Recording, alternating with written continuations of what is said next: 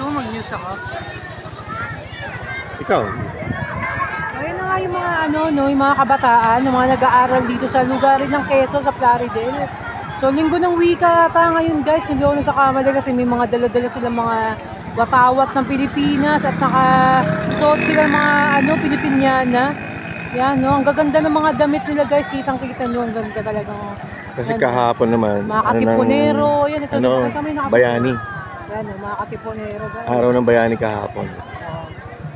So yun, na daanan lang namin guys ngayon. Ito ang ganda ng mga costume nila. As in talagang no, Pinoy na Pinoy ang dating guys. So naalala ko tuloy guys, nung mga elementary ako, ganyan din ako. Nung sumali rin ako sa mga ganyan. Pag linggo ng wika, kumakanta ako sa eskwela namin ng ang bayan kong Pilipinas. Yun, guys. So napakahaba pa pala niyan guys. So buong eskwelahan pala dito ng ano yan guys. No? Prosesyon sila. Prosesyon eh. No? Kapit yan, Siyain. ano. Siyain yan. Ah, Shaen. So ang ganda magsuot ng mga ganyang Pilipinyana guys. Sobrang al- gustong gusto ko nagsusuot ng ganyan. Ayan. No, tapos tamang nakapusod yung buhok mo. Dibasin talagang Pinoy na Pinoy ang dating.